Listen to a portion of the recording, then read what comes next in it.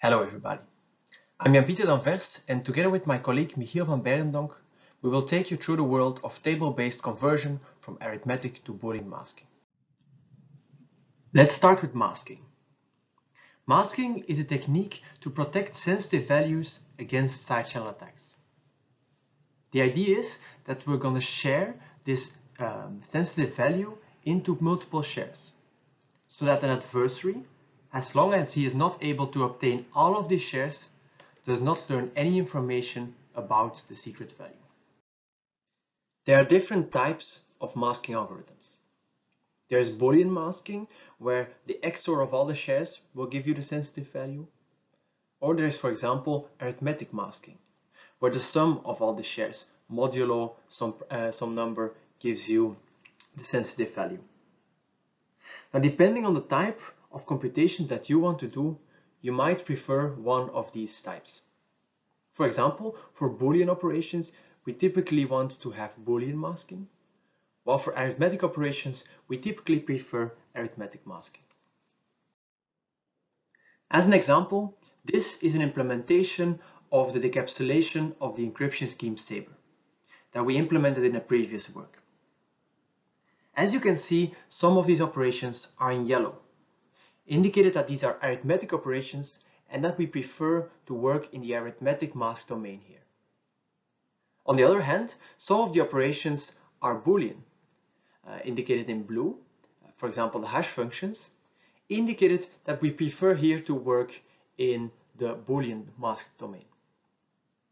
To convert from this arithmetic to this Boolean domain, we need conversion algorithms. For example, arithmetic to Boolean masking or Boolean to arithmetic masking. In this presentation, we will focus on arithmetic to Boolean masking algorithms.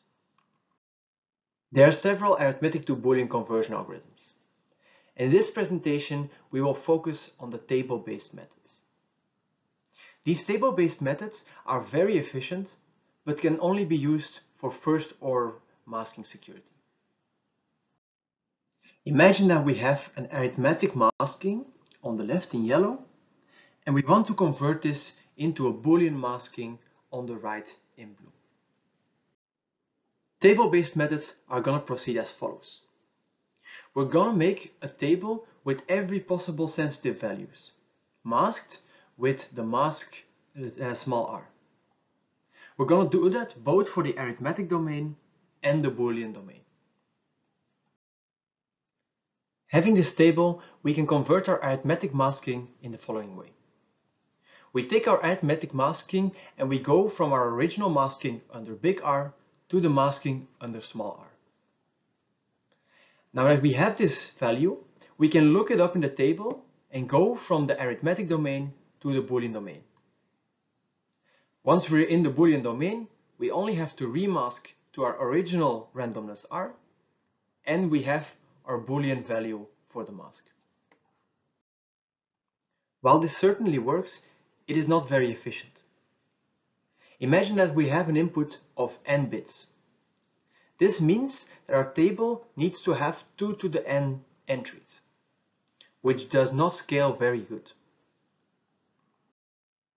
As a solution, table-based methods typically divide the inputs into small chunks.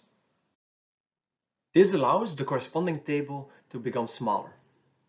For k-bit chunks, we only need a table of 2 to the k entries. So how do we proceed? Well, we take the first chunk, the least significant bits. Let's say this is 3 bits. And we take these bits and we do a remasking, again, to this uh, mask small r.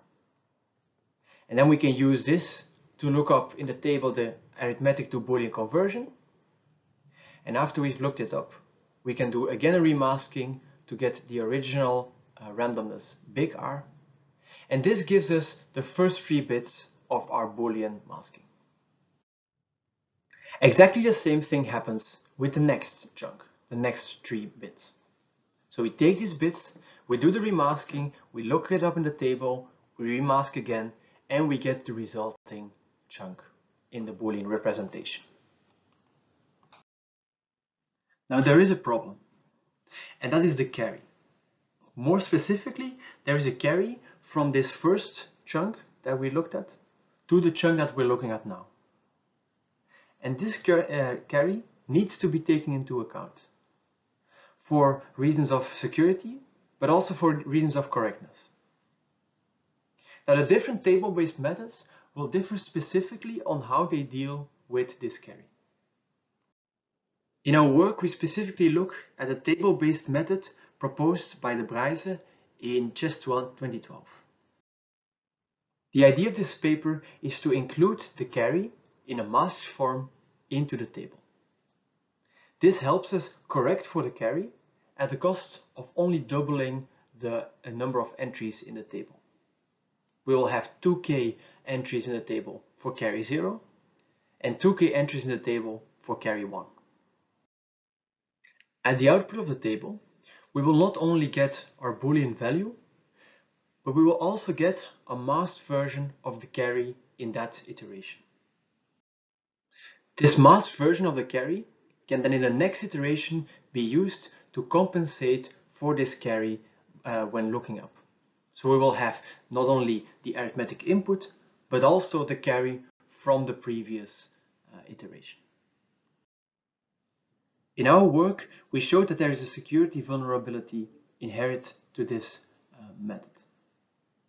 And the reason is this variable encircled in red. Now in this variable, we do not yet take the carry into account. And we show that this leads to a non-uniformity of the masked value. Now my colleague Michiel is going to give you more information about the attack and about the possible solutions to this attack. Hi, I'm Michiel van Beirendonck and I'll take over from Jan Pieter to describe our attack on this A to B conversion method and also two solutions that we propose to remedy the problem. As Jan Pieter already mentioned, the problem is with the value encircled in red, so let's go to the next slide and analyze it in detail. The value that is used for the table lookup is a masking of x1 with the mask r, but there is also the omitted carry that is used separately for the table lookup. This means that the actual mask depends in two ways on small r. There is both the normal mask r, but also the carry, which depends on r. If you look at the distribution of this mask value, a problem is immediately obvious. Shown here on this slide is a conversion that happens in three iterations, where the conversion processes chunks of two bits. In a secure masking, you would expect the mask to take the values between 0 and 3 with equal probability. We see that this is indeed the case for iteration 0, when there is no carry yet that needs to propagate. However, in subsequent iterations, shown here on this slide, iteration 1 and iteration 2, the carry creates a dependency in the masked value. As a result, the distribution becomes skewed, and the mask value 0 has a higher probability to occur than other mask values. This is exactly what should be avoided in a masking situation, because this now means that the sensitive value is still correlated with the shares. Since the shares are correlated with the sensitive value, we expect this to show up in a standard fixed versus random t-test. This is shown here on this slide for a t-test with 100,000 collected traces, where the A to B conversion happens in 8 iterations.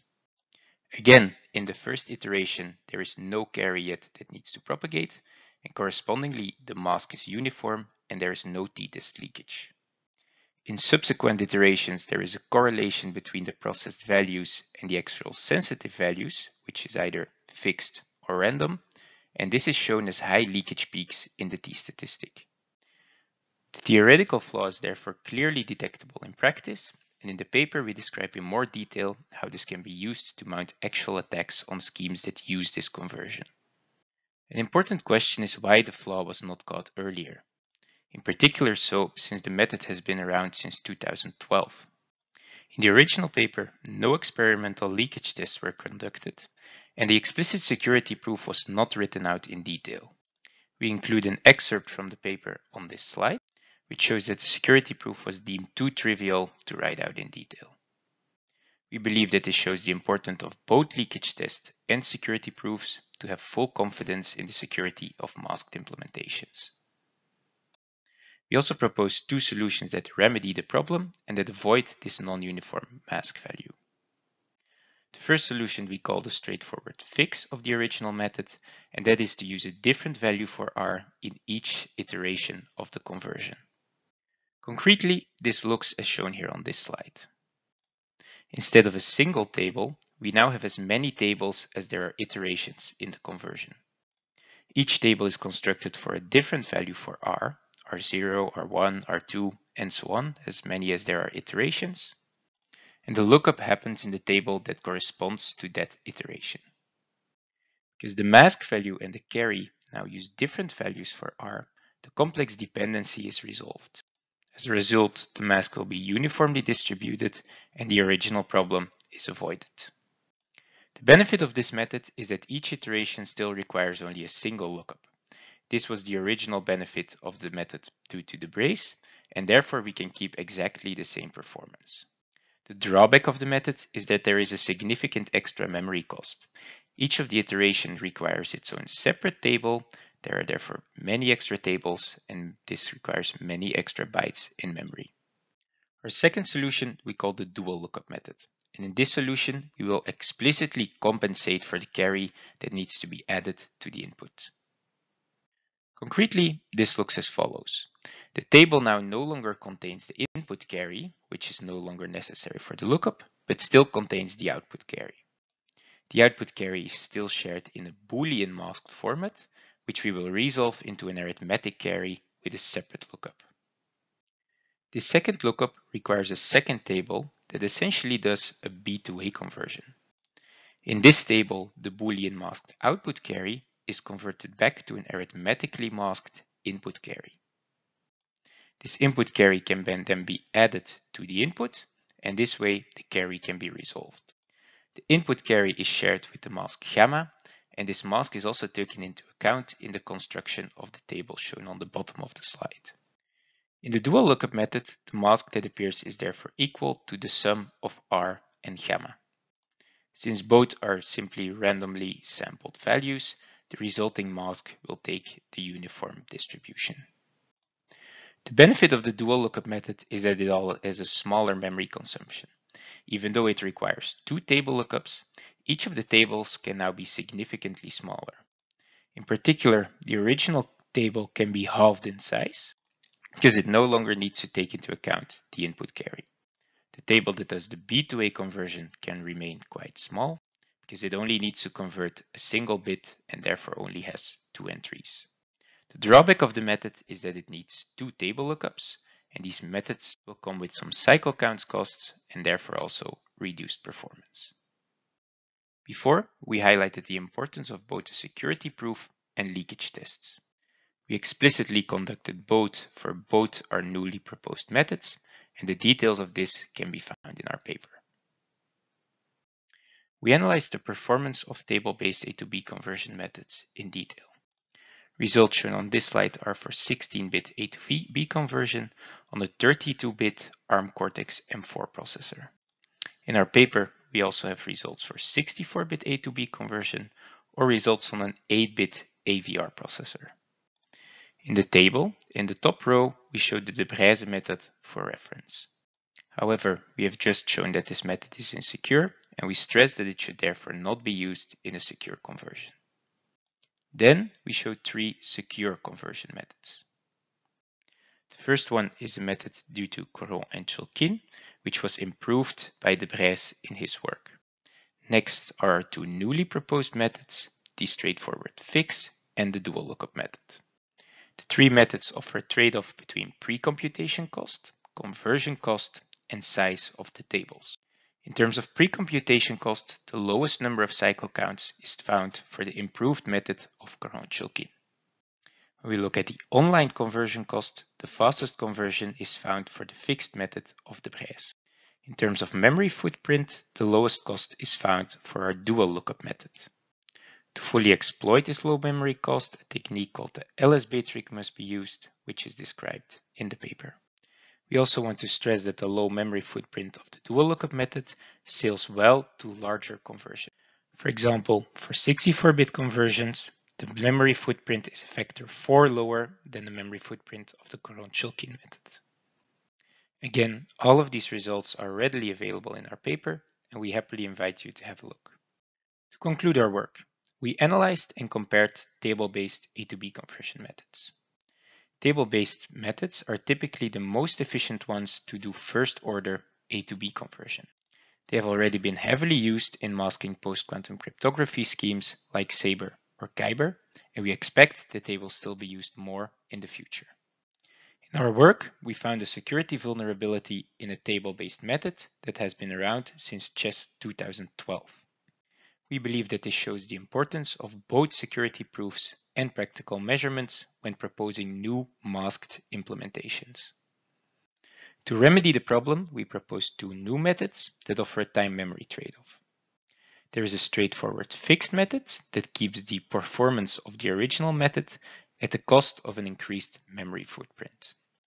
We also proposed a dual lookup method that requires an extra table lookup and therefore has reduced performance, but this dual lookup method keeps the memory footprint significantly lower than other methods. Finally, we aim to make our implementations publicly available at the link shown on this slide, and we hope that they will see use in future masked implementations. Finally, both Jan Pieter and I would like to thank you for listening to our talk, and do not hesitate to reach out to us should you have any questions.